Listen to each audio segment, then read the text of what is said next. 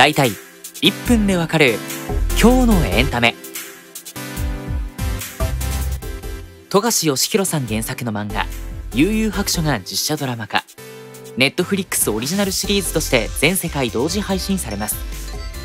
悠々白書は1990年から1994年まで「週刊少年ジャンプ」で連載されていた人気漫画。